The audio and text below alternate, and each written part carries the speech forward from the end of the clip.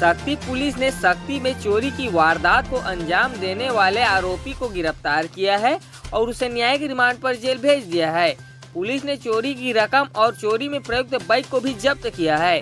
दरअसल, station road स्थित किराना दुकान के संचालक ने रिपोर्ट दर्ज कराया था कि 19 सितंबर की दरमियानी रात को उसकी दुकान के शटर के ताले को तोड़कर गले में रखे एक लाख सत्तर हज़ार रूपए को कोई अज्ञात चोर चोरी कर ले गया है। पुलिस ने रिपोर्ट पर अज्ञात चोरों के खिलाफ आईपीसी की धारा चार सौ संतावन तीन सौ अस्सी के तहत जुर्म दर्ज किया था और तफ्तीश में जुटी हुई थी।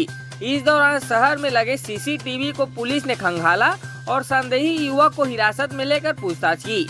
तो पता चला कि आरोपी विश्वनाथ धीवर ने किराना दुकान का ताला तोड़कर गले में रखे रुपए की चोरी की है। पुलिस ने आरोपी विश्वनाथ धीवर को गिरफ़्तार किया है और पुलिस ने उसके पास से चोरी की रकम और चोरी में प्रयुक्त बाइक को भी जब्त किया है। आपको बता दें कि आरोपी विश्वनाथ धीवर अकलतरा थाना क्षेत्र के बरगवा गाँव का रहने वाला है। स्टेशन रोड में भगवान किराना स्टोर है, जिसके मालिक अमन गर्ग है।